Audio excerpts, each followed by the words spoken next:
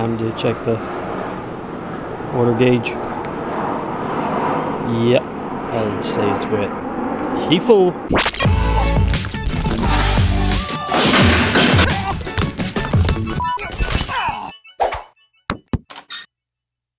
Alright, welcome back party people. So today I'm trying to resolve a storage issue I have inside the van.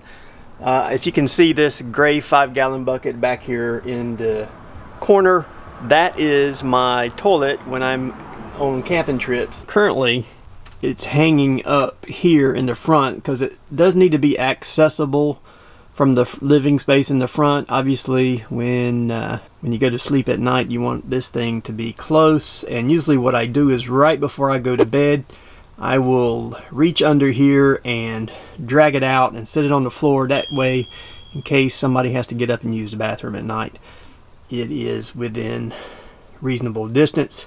I really want to find a solution to keep this thing from rattling and banging up against everything in the van. And I know you're probably thinking to yourself, well, there's a ton of solutions to that, and uh, most all of the solutions I found are fairly pricey, you know, from 20 bucks all the way up to 50 and 60 bucks. I have zero floor space in here because the trays are actually take up all the floor space, and I have my drawer space on both sides, so there's zero floor space then uh, there's really no other option but to really use some of this side space up under the bed here. So let's go mock something up. I want to try to use some stuff I had laying around that are, that uh, I wouldn't have to purchase and I do have these two hinges here which I think might come in handy. So what I picked up at the big box store is this Oatey galvanized tab tape. So my plans are to actually mount this to the hinges so that I have a strap around the circumference of the bucket and I could easily slip the bucket in and out and it would be hinged such that the uh, strap would just kind of fold down against the wall when not used. Uh, that way it would kind of be out of the way of uh, some of the other items in the van. All right, so we have a scrap piece of plywood mounted in the vise here, and that's going to simulate our van wall. By the way, if you're not familiar with these uh, portable toilets, they're pretty popular at job sites. They're called uh, luggable loos, and uh, it's basically a toilet seat on top of a five gallon bucket. They're fairly comfortable, and what I do is I keep some trash bags inside as liners, and that's what I use as my portable toilet. And so so the idea is to use the metal strapping here around the circumference of the bucket. This is used to kind of hang pipe. You could probably do two or three buckets with this uh, with this metal here. All right, so we've got our bucket hanging up here. The idea is to use some of this strapping around bucket here and we'll mount that to a hinge. So what I want to do is actually mark a space about along where that knot is is where I want to install a hinge. Move the bucket out of the way for now.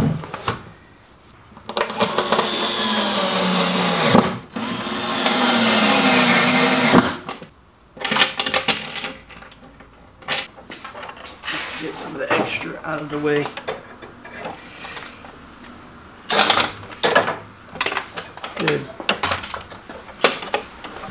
All right, so I mocked these up.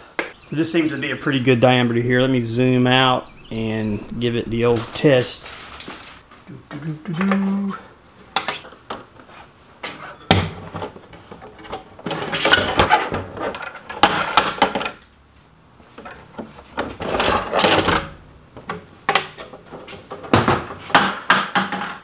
All right, now that we kind of proved out our mock-up, I'm gonna screw this all together got some bolts and some nuts here and uh, once we get it all together then I'm to take the Dremel and trim the length of these bolts so they'll be much shorter. So let's do that.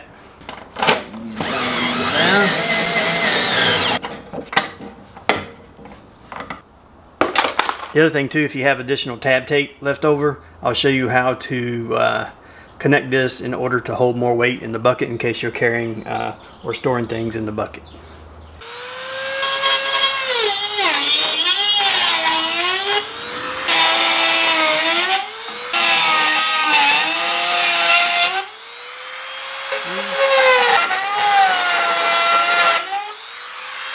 number four. As I was saying, if you want to carry more weight in your bucket, one thing that you can do is uh, add some additional tab tape. So let me see if I can zoom out here. So then you can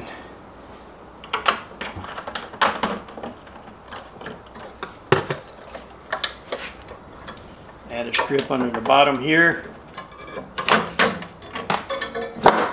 So you can just bolt a, a strip on like that to go under it and uh, it'll sit like that. And that'll get you more weight. And if you use bolts with uh, some washers on each side these will pivot too. So uh, you'll have no problem. You want to collapse it it'll pivot along with it like that. I'm not going to use it for this particular application because I don't think I need it. And when I'm dealing with the van less is more. Let's throw some tape on there and get her installed and the one thing I can tell you about you know having a van and camping out, you're you're almost always in the dark and you're looking for things in the dark too. So whenever you can, use a bright colored uh, indicator to help you kind of locate things. Um, especially uh, there's going to be times at night where you're just not going to either have access to a light switch or you're going to be too lazy you're going to go for the light switch. So I'm going to brighten this up just a little bit here with some um, of this red electrical tape. Alright, so that's much more friendlier to the touch there. If you're concerned about scratching the bucket up, you can add this tape all the way around. I'm not necessarily concerned about that, but I am concerned about other people reaching their hands down there. So I'm just going to finish this off as much as possible here with this tape. I went with this tab tape here because it's pre-drilled, it has holes in it already, and it seemed like it was pliable enough to kind of work with. And it was cheap. So that's pretty much how you make a uh, less than five dollar five gallon bucket holder. Five gallon buckets are very utilitarian. You can store in them you can carry in them you can take showers and baths in them five gallon buckets are great the problem is they're round and they don't collapse so you have to find some way to store them so. All right, so I think we're ready to go install this in the van. So that's the area we're shooting for right along in there on that wall. And that will give me access to get it from the front. All right, and you can tell in that space, I don't really have a stud to actually connect to, so to actually screw to. So what I'm gonna do is I've cut this piece of quarter inch. I'm gonna mount the hinges to this and then I'm going to screw this to the wall with a bunch of uh, smaller screws. This will help distribute the load.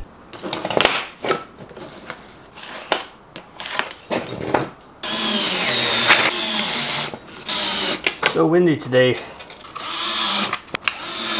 This will just help me tack it in place while I'm diddlying around with it.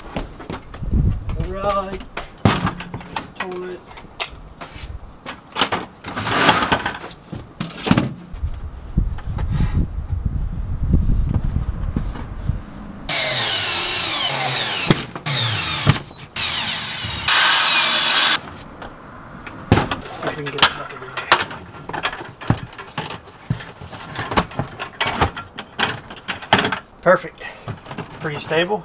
I think that'll solve our uh, noise problems. Pretty sturdy. Alright. Alright, party people, that'll do it for this video. Hope you enjoyed how to make a five gallon bucket holder for less than five bucks. Till next time, skill up and ride, van up and go.